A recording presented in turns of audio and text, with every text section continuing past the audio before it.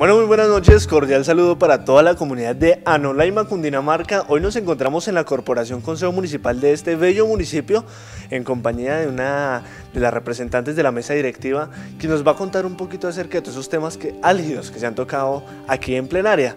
Bueno, para empezar esta entrevista, ¿cuántos integrantes conforman el Consejo Municipal? Buenas noches para todos y para ti por supuesto. El Consejo Municipal de Anolaima está constituido por 11 concejales. Entre ellos estamos tres personas en la mesa directiva, yo soy la segunda vicepresidente y adicional a los 11 concejales tenemos un secretario pues que es la persona encargada de, de colaborarnos. Bueno, más o menos unos 59 días. ¿Y qué temas se han tocado aquí en la Corporación Consejo Municipal? Como para que la gente tenga un poquito de idea. Claro que sí, eh, le hemos dado algunas autorizaciones al, señor alcalde para que pueda hacer las contrataciones a lo largo del año, obviamente con algunas condiciones para que nosotros como concejales y la comunidad pueda estar al tanto de qué se ha venido haciendo y por qué.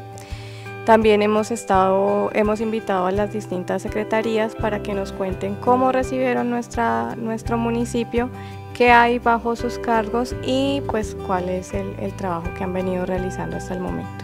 Bueno, mencionabas algo muy importante y es el tema de esos empalmes con la administración municipal pasada y la presente. Eh, ¿Cuál es la secretaría de pronto que, que, se recibió de pronto con bajos presupuestos o que no se recibió muy bien? Pues bajo presupuesto en realidad en todo el municipio, si te soy sincera.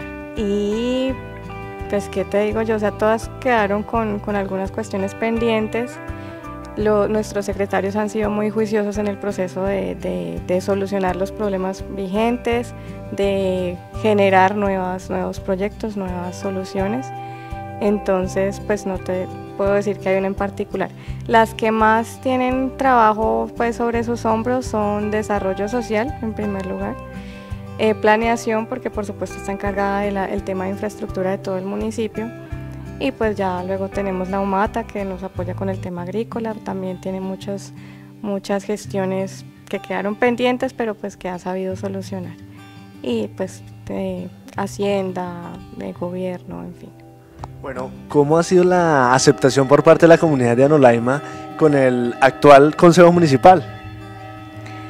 Pues por lo pronto yo veo una buena aceptación, o sea, una actitud positiva, pues nos rodean, nos apoyan, eh, son conscientes de que somos también el apoyo de la comunidad, somos su voz ante, ante, esta, ante esta corporación.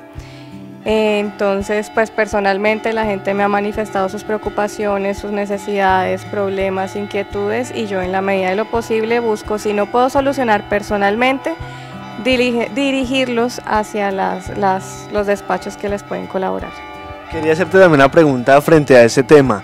Si de pronto la comunidad de Anolaima tiene algún problema que en caso dado se presente, ¿en dónde nos podemos comunicar con su merced? Uy, comprenderás que los concejales no tenemos una oficina como tal, entonces sería pues mi línea telefónica personal.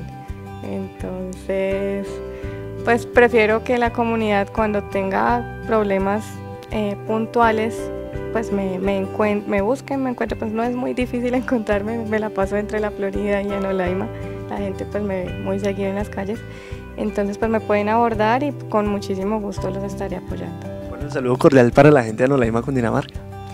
Claro que sí, un afectuoso saludo para toda mi comunidad anolaimuna. Anolaima no es solamente la, la la cabecera municipal es La Florida, es eh, Reventones, Corralejas, Boquerón de Hilo y por supuesto nuestras hermosas veredas. Tenemos un territorio maravilloso y me siento muy orgullosa de ser una de sus concejales. Entonces estoy para servirles y les envío un abrazo muy fuerte y afectuoso. Bueno, yo me quedo con la mesa directiva de la Corporación Consejo Municipal de Anolaima, tocando esos eh, importantes temas que de alguna u otra manera también eh, acoge a la comunidad. Sigan ustedes con más información en estudio.